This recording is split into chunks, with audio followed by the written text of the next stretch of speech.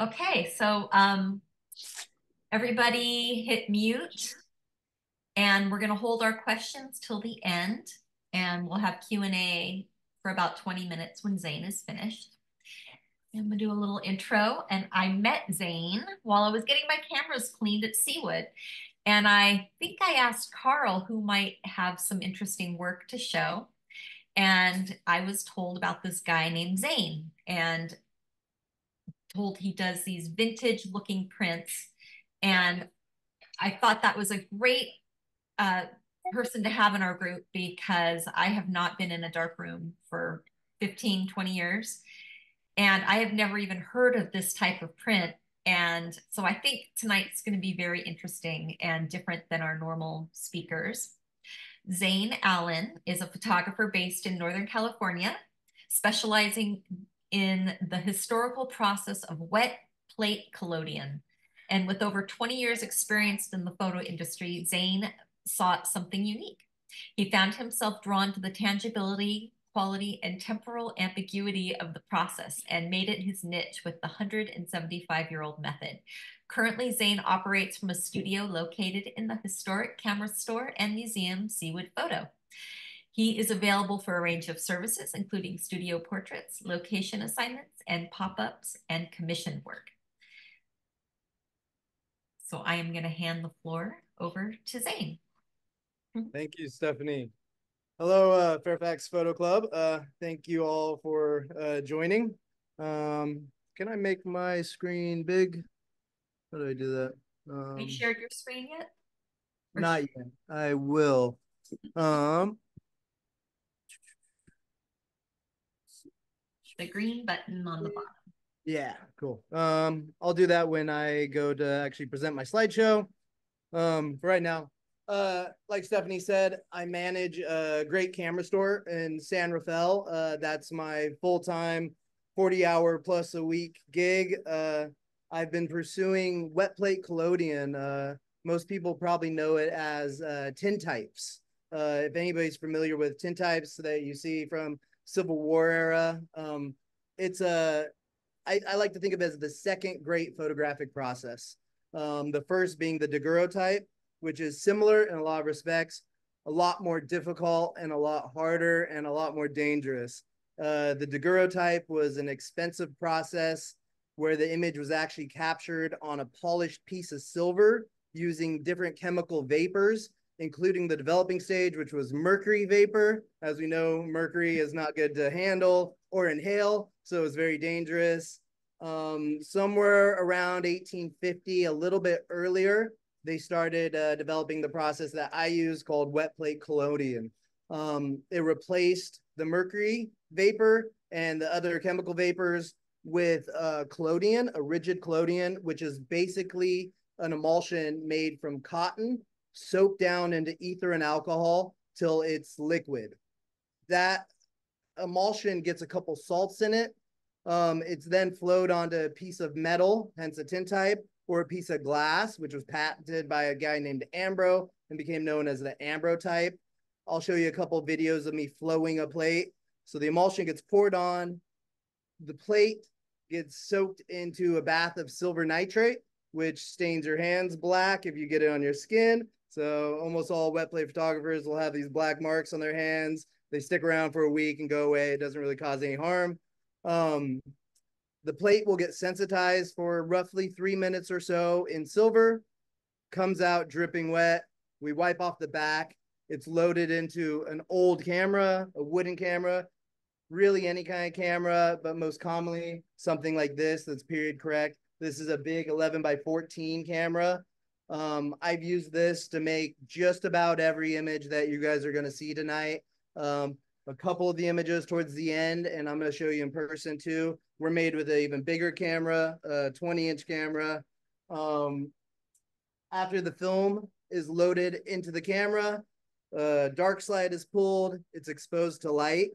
Uh, I shoot a lot with strobes here in the studio at Seawood. Um, really powerful strobes, uh, as powerful as the sun, basically. Uh, that makes me able to capture instantaneous photos so you're going to see pictures of uh, dogs, animals, pets, uh, babies. Uh, this wasn't typically done uh, in the 1800s because they didn't have access to these high power strobes. Um, if I was shooting on a bright day out in the sun, exposure times are going to be, you know, two to four to five seconds. So that's why you see a lot of these older pictures, older tintypes and stuff, where the people are standing real still. Even then, they're kind of blurry. Uh, there's the whole hidden mother portraits where they would put a shroud over uh, one of the parents and they would hold the infant and try to hide. Those are very collectible tintypes if you can find those and pretty obscure. Um, so I capture my images with strobes. Uh, basically, all and you'll see videos of this. I'll take the lens cap off the camera, give them a little countdown. Three, two, one, hit them with some lights. Uh, light photons hits the chemicals right on the piece of glass or metal. I take that back into a dark room, develop it, fix it, and that becomes the object. So really, everything I'm showing you tonight, uh, it it's less than ideal to view on a screen, um, and that's why I often advertise with little videos that you'll see that I share on Instagram and other places because uh, these things. I have one right here. Um, this little picture of a flower that I made. Um, they exist as photo objects. So unlike a print or anything, they're one of one. Um, this plate always exists in the same space as the person or the object that it was made in. Um, they'll last hundreds of years when they're done right. There's ones from the very beginning that still look like new. Um, so they're very archival. Uh, that's some of the specialness of this process is it's about as analog as you get. You know, you, you prepare each aspect of the film and pour it over the, the metal plate or glass and then preserve it. Uh, and it lasts a long time. Um, if anybody ever wants to see these in person and you're local to our area, come into Seawood. Uh, I'm filming all this uh, right now from the studio where I shoot most of these. I have a whole shelf of these. All the staff here uh, has to sit for a tintype with me when they when they get hired. Um, they're all on display. Uh, I really recommend coming in, getting them on your hands, and uh, checking them out. Um, so that kind of gives you a, a, rough, real quick overview of the process. Uh, it's very labor intensive. There's tons of steps, tons of maintenance, tons of cleaning involved. Um, too much for me to really get into. There's lots of great uh, information out there. Uh, anybody can reach out to me if you want to know more about the actual process, and I can point you in the right directions to books and instructors and teachers. Uh, I taught all this stuff myself, um, you know, over the course of the last 10 years uh, with some help from people online and, and books. Um, so that kind of gives you a, a, real rough overview of the process. So you sort of know what I'm sharing and looking at. Um, I'm going to share my screen now and kind of start my slideshow.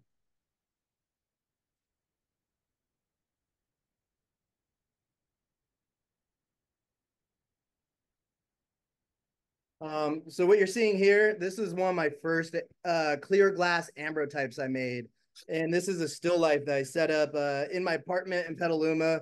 Uh, I had a tiny little studio that I lived in and also shot photos in when I was figuring all this stuff out.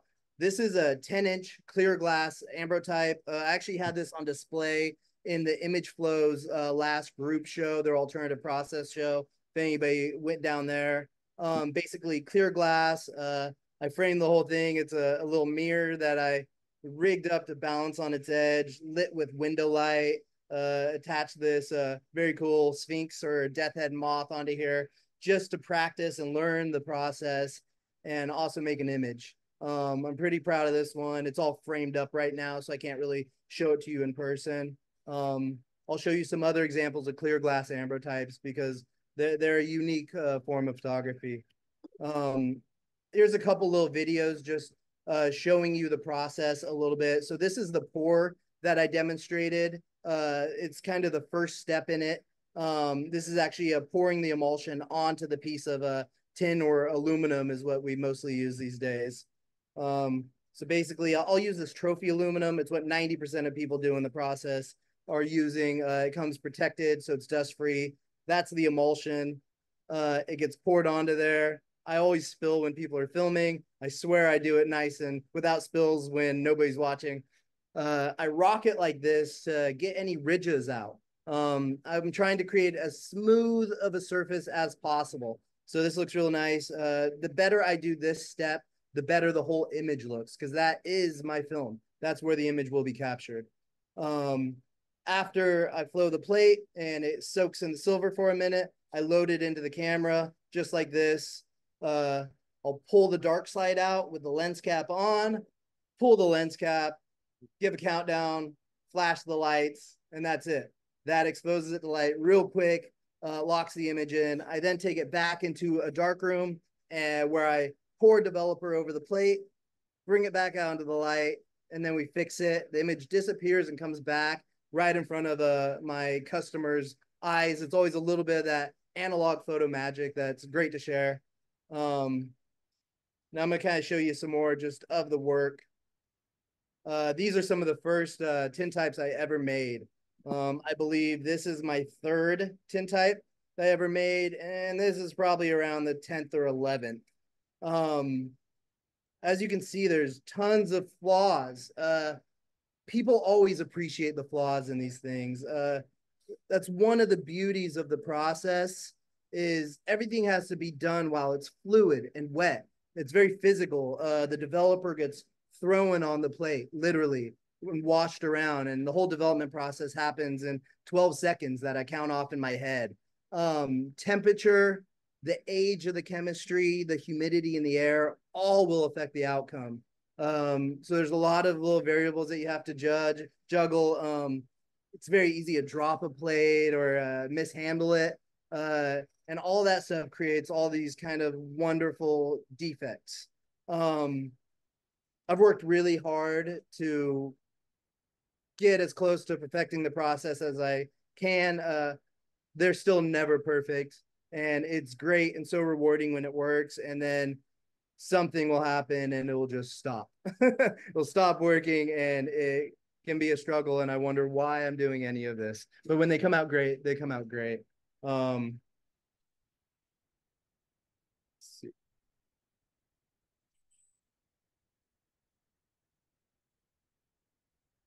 Um, this is more what I do now. Um, as you can see, it's a lot cleaner. Uh, this is probably one of my favorite images I will ever make. Uh, this is some close friends. Uh, their child here was less than a year old. Um, again, using strobes, I can now capture images like this. Uh, little baby Mia poked her head up at the right time and lifted her arm, and it all worked out perfectly. Uh, these are the ones I'm really happy with. You know, uh, they bring her in every year now, and they get a new photo, and they sit on a mantle, and it's great to have these things displayed as objects out there in the world. Um, like I was saying, these are objects, so they're not. You know, I scan these uh, using a flatbed scanner, and I can digitize them, and I can make prints from them. But the core of these are a physical object. So I make these videos a lot to advertise these things. Um, they never look as good on a screen. Uh, this is showing the physical plate. Uh, these are what I share online and on Instagram when I get good ones I'm happy with, just to show people what they really are. They reflect light differently. Um, they need direct light on them to really kind of shine. It's just silver sitting on metal or glass. Um, people ask all the time, who wants these things? You know, people come in and uh, the, you know, a lot of people that I, that come and sit for me have never had a professional picture done or a professional studio portrait done. Um, they wonder who comes in, does these things. Couples, families, uh, young people, old people, a lot of people interested in the history of photography, and you know, a lot of the same people that work with their hands and listen to vinyl. Um, I shoot a lot of these couples. Uh, I love all the different looks of people. Uh, I always recommend people bring in props, whether it's children, objects that are close to them, furry companions. Uh, if I can ever make a portrait that feels right and I think tells a story about who somebody is or just depicts a little bit more, I'm happy. Um, I love this one where Jason recedes back to the back a little bit and it's kind of mysterious. His partner comes forward uh, they both have their bunny that they cherish in front of them. Uh, anything that tells a bit of a story and I can get the lighting to communicate uh, aspect of the person, and I'm happy. Um, I can shoot just animals too. Uh, this was something that could have never been done in the 1850s, the 1900s, when this was the predominant form of photography. Uh, this guy sat right up. Uh, we had to do two shots for this one. The first one, uh, things just didn't work right. Second one, Raven popped right up. Uh, she sat so good. I popped the lights and it worked out well. Uh, I have another little video of the object. This one's fun because I can show you the detail. Um, the process is just photons of light interacting with silver halide and creating structures. Uh, there's no enlargement, there's no pixels, there's no grain. So when you look at these things, they're minute to the detail of the fur. Um, the silver it creates a structure, so it reflects light in a very unique way. Um, so this is the sun out the window here, and you can see it as, as it starts to hit it. This is really the light passing through that silver halide structure and forming this uh, very unique metallic look. And that's why these exist as objects, and they're so cool. Is when you hold them in your hands, they reflect and change. Um, I think that's just something that you don't get in digital photographs anymore. Um, skip to the next slide. Uh, something as minor as changing a background affects these photos so much. Um, I've lately been shooting on darker backgrounds, and you can just see the amount of drama that happens. Uh, I wanted to talk with you all uh, just a bit about what I've learned shooting these things. I've shot hundreds of these portrait portraits at this time.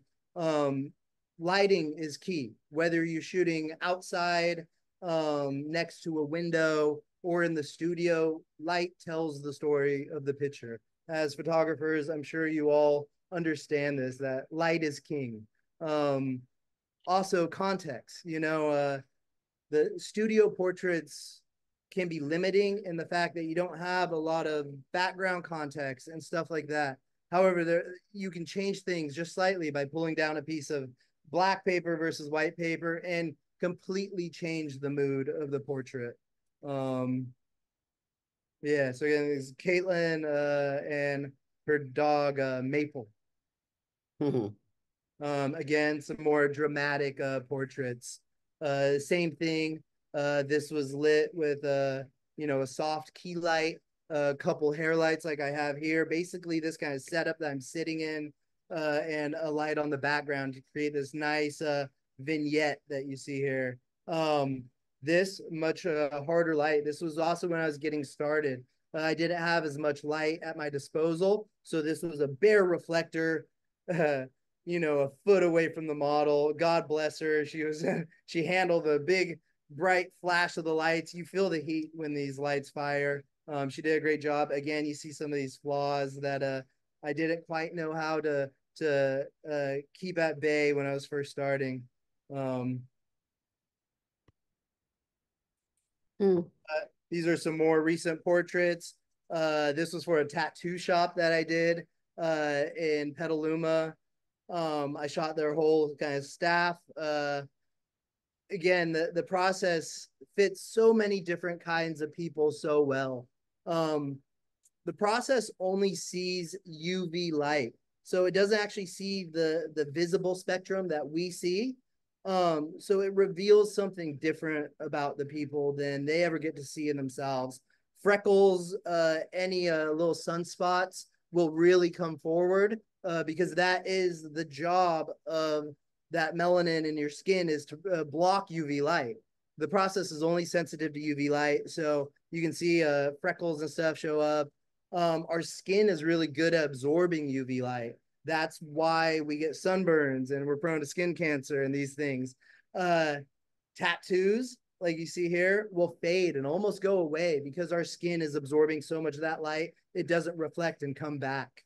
Um, UV glasses, if they're coated, will go dark just like sunglasses. So in that sense, you know, it shows a side of a person uh, that they never get to see. Um, it also changes colors. Um, blue, like denim like this, uh, or blue eyes will go very, very white. Uh, anything red that doesn't see or yellow uh, will go almost completely black. So blueberries will appeal appear bright white. Strawberries will go almost black. Um, these are a couple more of my favorite portraits that I've made. Uh, both of these have something similar about them that I look for and try to uh, control when I make pictures anymore, and that's defining a shape. Um, because there's no cropping involved in the process that I do, each individual image is one of one. I don't get to go back later and decide on a crop. Um, I don't get to change uh, the, I can't brighten them up or darken them down. I have to make the decisions on whether I want an image to be darker or more high key at the time of shooting. Uh, both of these images to me, they have a very nice shape. They have a foundation that then creates a shape out of this negative space. Um, this is what I'm always looking for. This is what makes a portrait sing, in my opinion, is being able to craft a shape like you're creating a landscape. Uh, so yeah, both these they have they're strong at the bottom where they're rooted down here, and then they both taper off and they both utilize this balance of negative space that I think makes them work. Um, very unique, uh, different people. Uh, this is a, a, Northern African musician that reached out to me with these traditional uh, Mali robes from about the same uh, time period as the process. Him and his brother came in uh, sat for this portrait. We made a bunch of the family too. And this one ended up being one of my favorites.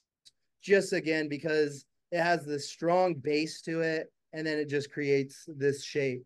Um, both of them ended up pretty clean without a lot of flaws. Uh, if I can ever marriage the process, the lighting, the subject, and then create a nice shape and not completely screw it up and have one person too close to this edge or something, uh, that's when I'm happy with one of these. Um, this is a 11 by 14 clear glass ambrotype. So uh, most of the other pictures that I've showed you, besides that first one of the moth, have all been done on metal. Um, you can't see through them. This is done on clear glass. Uh, I'm going to show you an example of this. I have this plate. It's not framed. So after we're done, I'll, I'll hold it up and you can kind of see the effect of the clear glass. Uh, this zoomed in uh, feature here shows you the, the real resolution. It's uh, as resolution at a microscopic level. You can put these uh, plates on a microscope and just look in until you see the structure of the silver. Um, the bigger the plate, the more detail. And uh, 11 by 14, that's the biggest size that this camera, that the camera behind me can do. Um, uh, the bigger you go, just the more detail that you have. Uh, again, high key picture. Uh, you know, I had my subject Mallory here in uh in white. I knew I wanted to shoot her against white. Her blue eyes go very light. Uh, I wanted this to be high key. I don't get to make any of these decisions in post. Uh, you know, I can always digitize the image, change it, but I'm always shooting for the object. Uh, yeah, so I chose. I knew I wanted this one to be bright. Uh, and it, it all worked out well and it got right there. Um, this is actually a 16 by 20 glass plate negative. So uh, I, I wanted to include this. This is Alpine Lake Dam. Uh, so you people close to Fairfax have probably been out there. Uh, this was shot in a giant 20 inch camera. I had to set up and point at the dam. Uh, I had an ice fishing tent set up. That's a pop out six by six room as my mobile dark room.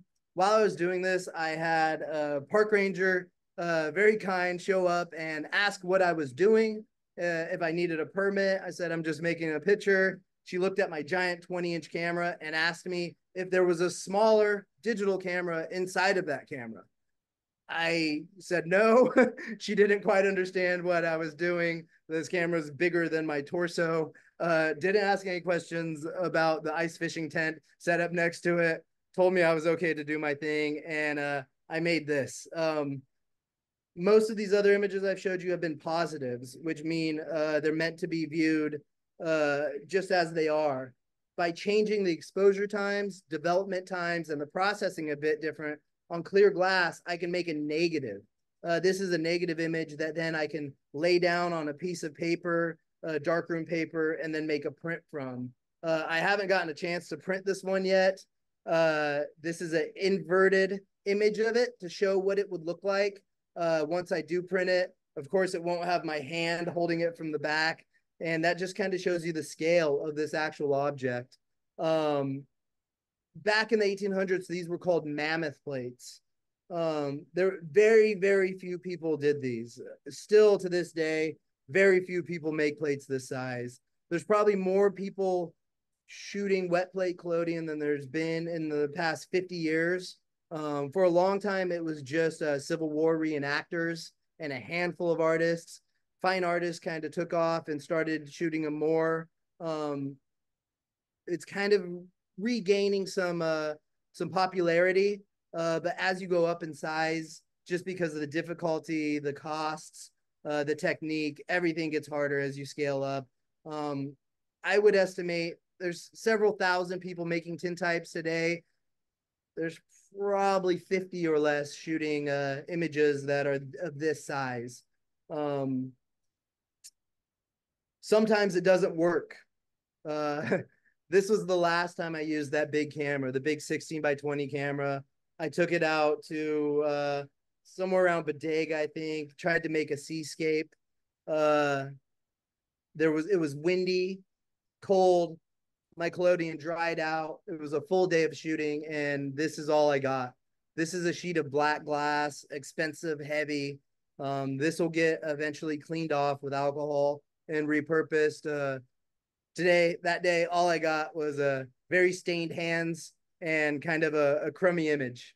Um, I wanted to include this just because the process is daunting there's so many little steps but you know like like so many things in life uh it, it's equally re- as rewarding. Um days like this you just kind of got to pack it up uh you know put everything away and just go back.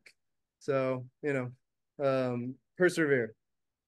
Uh that i think is the end of my slideshow. Um you can follow me on instagram. I'm kind of most active there if any of you have that uh, I, share all my work there. You can reach out to me, ask questions there.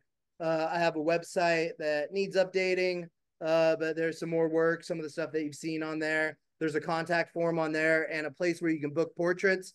If you want to have a portrait, again, family, bring your family, bring your pets in, uh, give them as gifts. Uh, anyone can feel free to email me here too. It's all basically Zane's place in all these different places. Um, email me Zane at Zane's place.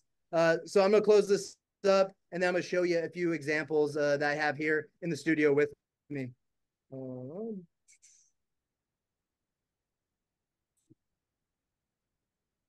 where's this? Stop sharing.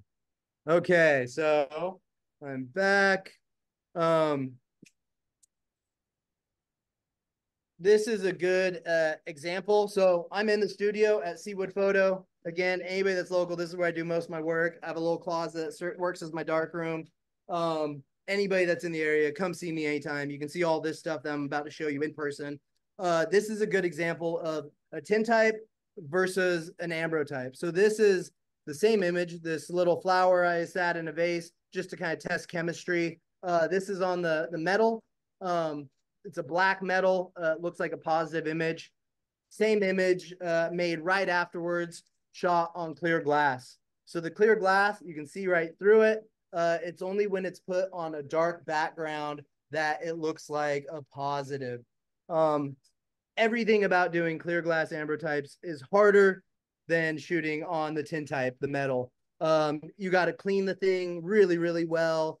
Uh, the emulsion doesn't like to stick to the glass. It's see-through, so in the dark room, you forget which side it is. There's lots of little uh, uh, issues with these, but they're ghostly, they're ethereal, and there's just something that's so cool about a well-made clear glass ambrotype. Um, this one that I showed you in the slideshow is one of my favorite clear glass ambrotypes I've ever made. It just worked. Uh, focus landed where I wanted it to be. Again, you can see on a dark background, it appears as this silvery positive. As soon as you remove it from that back background, uh, it becomes virtually see-through. Um, these have to be framed uh, uniquely with a black background. Uh, but yeah, they're, they're incredible to look at in person. So come in, see it. this is uh, that negative that I showed you. So this is a 16 by 20 glass plate negative. Um, in the 1800s, the people that were shooting this size um, would carry wagons filled with equipment, hauled by donkeys, giant cameras the size of wagons uh, through the parks uh, to make images this size. Uh, yeah. Eventually, this will get laid down on a piece of photographic paper and contact printed. Um, 90% of the stuff that I showed you uh, today was made in the studio with this camera. Uh, this is the 11 by 14 camera. Um, that's the back. I have an 8 by 10 back on it right now. Uh, I use a number of brass lenses, uh, all the way from, you know, kind of the golden era of Hollywood, all the way back to 1861. Uh, it's a giant brass lens with fingerprints from past photographers on it. Uh, it's one of my most prized possessions. Uh, sometimes to get the the proper look, uh, the the old materials and the old equipment is just what makes sense. They work together. Um, I said in my little intro there uh, that I've been so interested in the temporal ambiguity of the process. For me, people love them. They, you know, always talk about how old they look. Um, done properly and done well, uh, to me, they've always looked futuristic as well. They exist in this time where they look old, but also very modern and can be almost holographic. Um, you can shoot on any number of glass or non-organic surfaces. Uh, this is actually, uh, I showed you a tintype version of this in my slideshow.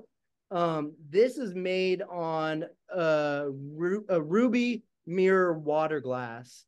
Uh, to me, this looks like something out of the year 3000. when you look at it in person, it shimmers and it's silvery and it has all this crazy texture. It's the same 175 year old process, no different than any of this stuff, just done uh, in a more contemporary way on a different, more unconventional material. Uh, I really want to do more stuff like this in the future uh, bigger, uh, weirder, uh, different shapes and stuff. And yeah, be on the lookout for that stuff. Uh, you know, and again, I'm happy to share any of this if you can ever come into the store. I'm gonna open up to any questions. I know I gave I gave a lot of info and threw a lot of stuff at you. So any questions at all, I'm happy to answer. I have a question. Um, yes. So I love playing with filters because I don't get into the dark room anymore. Mm -hmm does that piss you off that they have filters that are similar? It doesn't. it doesn't bother me at all. Uh, uh, you know, some people I think are only familiar with tintypes from the tintype filter. Uh, it was popular at the very early days of like Instagram and cell phone photography. I remember seeing that. Uh, I can always tell the difference. Um, the way they make these filters, I'm sure it's going to change with AI but the way they make these filters is uh, it's a defined shape. Uh, these organic analog processes, every time I pour that material onto the plate, it's different. Uh, there's an infinite amount of possibilities on how these things can turn out. I can't ever make the same one twice. Uh, I get asked this all the time. Um, managing Seawood and selling, you know, analog film cameras. We primarily sell uh, used film cameras, but also deal in digital stuff all the best modern digital stuff as well. I shoot digital cameras. Um, I shoot mirrorless Sony cameras. Uh, I take gigs to get paid for Sony uh, shooting those. Um, you know, when it makes sense to shoot digital, I do. I shoot a ton of stuff for Seawood, a ton of cameras that we share on our social media and in our newsletter every Friday. I shoot a portrait of a camera, always shot with digital. Uh, they're just different tools. Um, I shoot a ton of medium format film, large format film as well, 35 millimeter point and shoot film, uh, phone stuff. It's just, they're all different tools. They all give a different look. I don't discriminate. There's definitely some purists out there, uh, elitists maybe in both digital and film world. Uh, I'm always saying it's all just different tools. Um, if using a filter gives you your desired outcome and it serves the presentation that you want, do that. Have fun. Uh, love it. You know, as long as you're loving what you're doing. Um, there's no way I can make a digital object that is like these handmade objects. So for me, uh, it's real important to to have that physical thing. After working in all the one hour labs and gift companies and stuff that I've done, I saw a lot of snapshots and a lot of the same imagery over and over. I made a lot of the same prints. You know, I was a printer for a long time. I was originally hired at Seawood to do the custom printing. Um, I started, you know, occasionally I see pictures that I love, that overwhelm me, that are, are beautiful and moving. Um, but just seeing so many images as I have for so long, uh, I for my personal work, I wanted to do something that was harder and a, a little bit more tangible and felt more special. And these just spoke to me when I first kind of saw my first ten tintypes of stuff out in the world. I saw little tiny ones because uh, all the early tintypes you're going to see are never going to be bigger than a five by eight, and those are rare. Um, I saw some people making bigger ones, and I was like, I have to do this. I don't know where to go see them. They're not on display anywhere. I want to see what one, looks like. So all these things that I've showed you, I've seen very few other examples in person. So it, it's special to me to be able to make something and have them here in the store and share them just that are so unique. So yeah, use filters, uh, use digital, use film, try it all, see what uh, seems like your voice and speaks to you and have fun. I think Jan had a question. Yes, Jan. Jan. Jan wrote, um, he's asking oh, in the chat. Do he said um no he said no need to protect your skin from the chemistry? Um the silver nitrate, which is the sensitizing agent, is corrosive. Uh, that's why it causes these stains to anything organic. It's not very corrosive though, so it just will stain the outside layer of your skin. Uh, it peels away in a few days. Um, I used to try to keep my hands really clean. I still do. I wear gloves during different parts of the process. At some point, you know, I'd heard other wet plate photographers say that no wet plate photographer is ever going to have clean hands. At some point, I, I, I just gave up to it, and uh, you know, I I embrace the silver stains. Uh, whenever I meet anybody else that does the stuff that they recognize immediately and know what it is. Um, the chemicals, uh, silver nitrate in your eyes would be very very bad. Uh, it it would uh, probably permanently blind you if enough of it got in there. Um, I'm very, very aware and very cautious when I'm doing certain steps to not allow it to splash or get anywhere near my eyes. I'm very careful not to wipe my eyes. Luckily, I wear these glasses all the time. It helps. Um, ether, uh, which is in the, the emulsion, is very flammable. Uh, it's toxic in long term durations of exposure. Uh, if I do big stuff, like the big 16 by 20 negatives and I have to work in a place where there's not a lot of air, I wear a respirator and a ventilator. Um, small uh, plates, uh, I usually pour real quickly, cap it off, and I'm not exposed to it. Uh, a guy, Quinn Jacobson, that works out of uh, uh, Colorado, um, I've heard him say that he gets his blood tested regularly for heavy metals and different parts of the chemistry, and he's one of the world's foremost practitioners of it and he's never come back with anything. Um, so th- there's definitely a lot to be cautious about. Um, it can be a dangerous process, but uh, you know, with enough care, uh, I feel safe doing it. Um, yeah. so yeah, cautious, uh, definitely. You know, uh, any more, uh, any photographers working uh, with powdered chemistry. Um, a lot more uh, uh, information has come out about the the cancerous nature of like dichromates and some of these early uh, uh, uh, photographic chemistries. Whenever I'm working with anything powdered, I'll wear a respirator, and uh, I'm very cautious of that because uh, I, I, don't think inhaling any uh, of this powder stuff to get in your lungs is a good idea. So uh, yeah, I'm definitely uh, aware of the the hazards and uh, mindful, and I, I, I recommend everybody is. Who has the next question?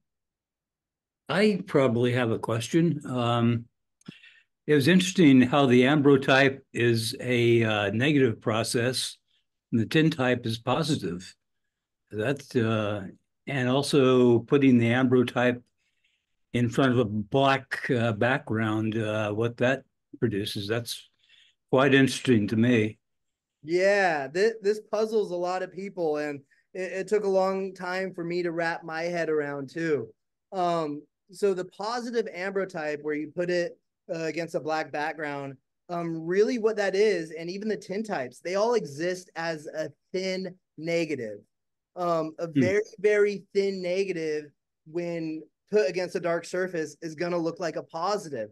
So, yeah. um, yeah. because the silver is bright and reflective. So that's what you're actually seeing in the process that creates the positive and the highlights of the image. And yeah. when I make a negative to print from, or like a traditional 35 millimeter negative, mm. you expose it so much more that that silver actually becomes the shadow area. It yeah. builds the density. So yeah. all these actually exist just as a thin, a thin negative, where on a dark surface they look like a positive. That's very cool. You know, I've noticed even with film, if you look at the emulsion at a certain angle in a certain light, it, you can see a positive. Exactly. Yeah, yeah. You're, so you're seeing the, the actual silver sitting on there. Yeah. yeah. and that's the same thing that's happening in my slideshow. That image of the dog that I showed you, where the yeah. light's reflecting, you get to see both the negative and the positive, where you see yeah. the highlight part of the image and the shadow. Very cool. Yeah, yeah. thank you. Yeah. Thanks. It's great presentation. Absolutely. Oh, wonderful. I'm so happy that you guys enjoyed it and uh, that I could show you these things. Fantastic. All right. Well, um, we kind of put together a photo challenge. Do y'all want to hear it? Yes. Looking here for it. I will open my thing here and screen share.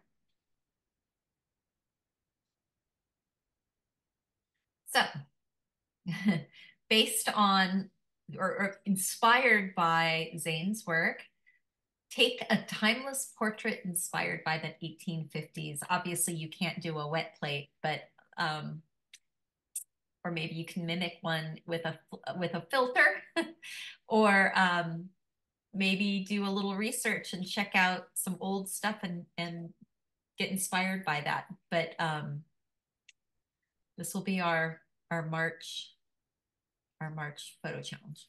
Yeah, and, and tips for editing if you want to get some of that tintype look. Um, the the process has a pretty narrow tonal range. Um, so you kind of see there there's a low contrast to it because there's just not as much tonal range available because it's using a small portion of the light spectrum that you get from something like digital. Um, modern digital cameras can have uh, as much as uh, 16 stops of dynamic range, just a huge amount of tones available to it. I've never really thought about it, but I would imagine that its tintypes are probably like four, maybe four stops, uh, maybe.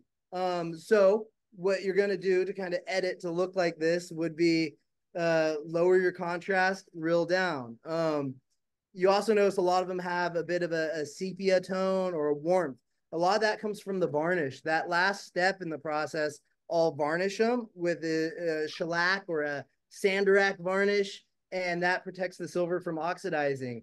Um, that always has a bit of a warm tone to it, and that gives a lot of that warm color that you're seeing. So make a black and white image, bring back in a little warmth, bring the uh, contrast down, and you might get close to one of these old looking images.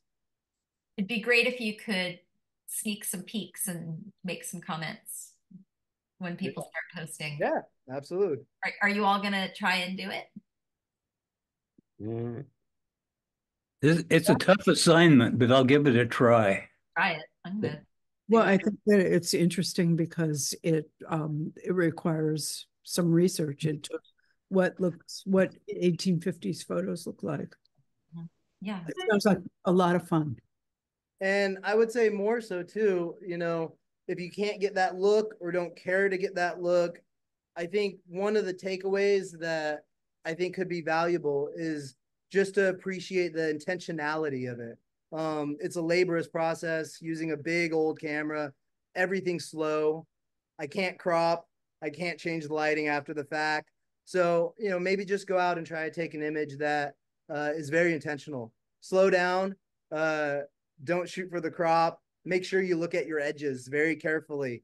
Take a step forward, move back, get low, get high. Look at the edges of the photograph and then try to shoot one frame, you know? Um, instead of it's so easy anymore with digital or even with film to to bracket and shoot a bunch and you know shoot from here there crop in edit a lot maybe just try to shoot a frame without doing any of that make sure you try to get one perfect uh, without doing anything Uh, that would have been a great challenge too. I didn't think of that. yeah it's the same thing Just shoot. If one I, shot. If I could interject one thing you just mentioned about the edges of a photo. I, I learned in a photo class to be very aware of what goes on. The corners and the edges of a photo can really distract. So you got to be really aware of what's going on in your photo. So pre-plan things. Yeah, absolutely. Uh, I, I'm constantly obsessing over the edges. Uh, you'll notice little shapes and stuff that get close to the edge of the, the photograph. They can create these tangents and like things where they're cut off and be very distracting. Uh, anything that's closer to the edge of a photo too is going to hold weight. So like a couple of those portraits where I was talking about the big base at the bottom, uh, you want to be deliberate with that. So you have like a little object, like a square or something off to the edge of a photo. People are going to look at it. Your eye's going to go there if all the edges are clean. So I'm always double checking, even when I shoot digital anymore. Oh, do I want this there? Do I want maybe if I just move forward a little bit, it will clean up the edges. Well, in, in, in my, in my art school training, uh, the philosophy was cropping is evil. That the photographer should be responsible for every centimeter, every square centimeter of the photo. Now, with that said, I often crop my photos, but Yeah. whenever I do, it means I did not see properly. You know, and journalists have to uh, be very aware of that. They can't do much cropping or alterations of the photos. So I think photojournalism is quite honest in, in its approach. I'm, I have to run. Thank you, Zane. Appreciate it. I'll see you at Seawood. You're very welcome. I look forward to seeing it. Pictures are beautiful. Yeah, I agree. Definitely unique. Thank you. I, re- I really appreciate it. Yeah. I love the, the one with the woman with the, the blue eyes. Yeah. yeah. Pretty. All right. Well, thank you so much. Um, I'll have a video for you tomorrow. Okay. Awesome. well, you. it's very Thank nice you to meet coming, everybody, and uh thanks so much for tuning in. Uh yeah, have a lot of fun out there making photos. If you're ever in our area, come see me at Seawood anytime. I'm always here. Thank you, Zane. Bye, Take care. everybody. Thank you. Thank you. Bye-bye. Bye. Bye guys. Bye. Thanks, Stephanie. Thank you. Bye, Mallory. Thank you. Bye, Take John. care.